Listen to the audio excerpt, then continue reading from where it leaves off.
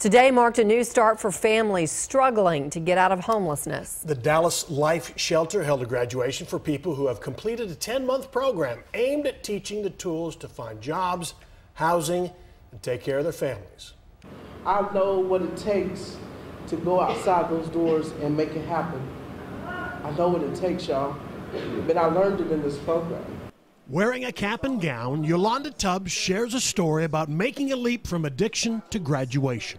My life has changed 100%. 100%, guys.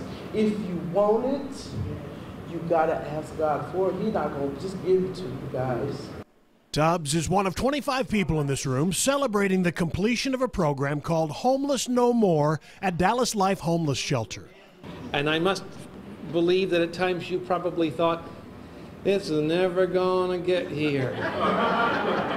right, Sierra? but you did get here.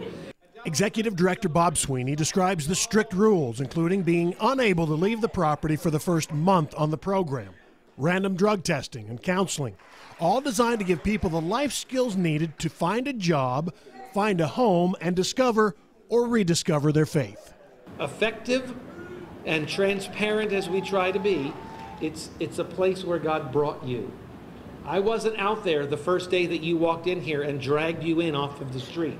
Henry Foltz Jr. Yolanda Tubbs. For Tubbs, a mother of 11 who got big cheers when she told the crowd she's clean and sober since 2009, this graduation means a new opportunity for her and her children. I know how to get out there this time and, and make it happen for me and my children. And so the graduates were required to apply for jobs. They took courses on budgeting and money management, all life skills meant to translate to making a living outside the shelter.